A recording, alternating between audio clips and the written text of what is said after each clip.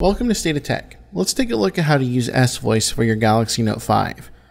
Now, if you're like me, when you first set up your device, you skipped over the actual setup of S-Voice, you're actually able to come into the app and set it up itself.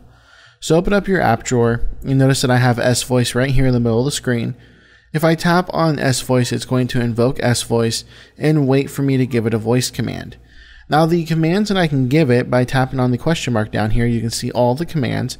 I can voice dial contacts, send contacts text messages, send voice memos, schedule meetings, do tasks, play music, search, open apps, set alarms, turn on specific settings, get navigation directions, weather, and even find local restaurants. So S-Voice can actually do quite a bit for you without you actually having to invoke any sort of commands on the device other than just using your voice. So open up S-Voice again, and now what we're going to do is tap on the settings icon. This is going to open up the S-Voice settings where we can change our language, uh, choose if we want voice feedback, always in hands-free mode, or turn it off. Auto start speakerphone whenever we're using S-Voice to make calls. We can set our home address, erase all of our data, get help, and view about S-Voice.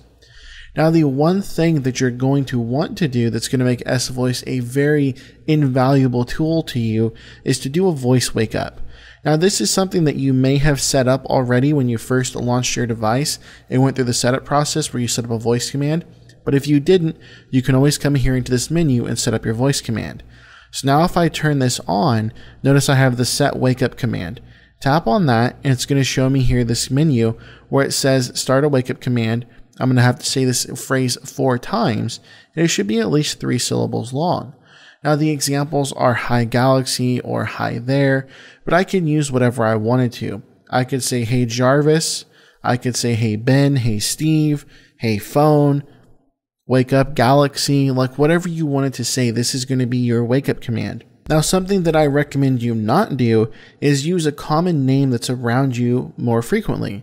Now I have a coworker named Ben, so I wouldn't want my wake up command to be hey Ben. That's going to be kind of useless because whenever I were to talk to my coworker Ben, my phone might think that I'm trying to talk to it and actually invoke my S voice and actually start doing whatever I'm telling it to do.